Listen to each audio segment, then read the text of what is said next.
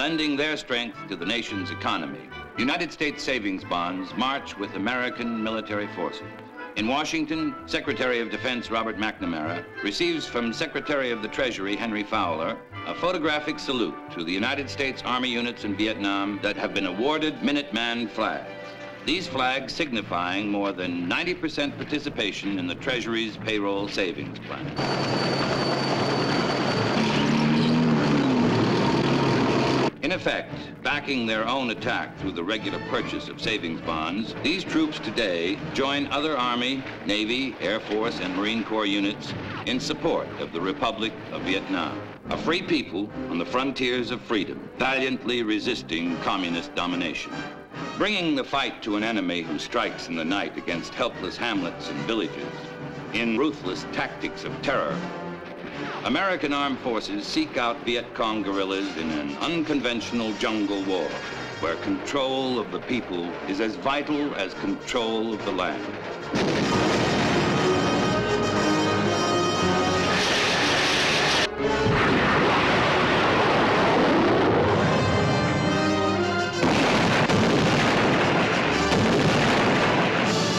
The battle is here.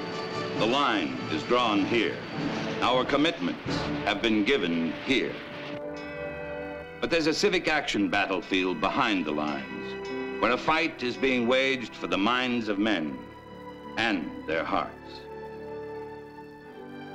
In a war that may be won through winning the people, demonstrating our steadfast, unselfish interest in defense of their freedom.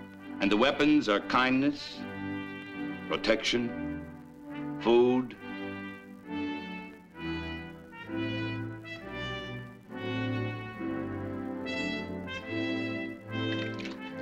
bar of soap, and medical assistance where none has ever been known before. A demonstration of friendship, the hand of friendship and goodwill. These people and these soldiers, sailors, airmen, and Marines need the support of every American. Support that could be given through regular purchase of savings bonds.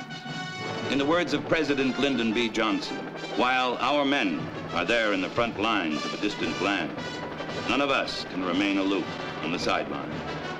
One sure way to support our commitments and our responsibilities while saving for the future is provided through the regular purchase of what the President has called the most important investment that any American can make, United States savings bonds.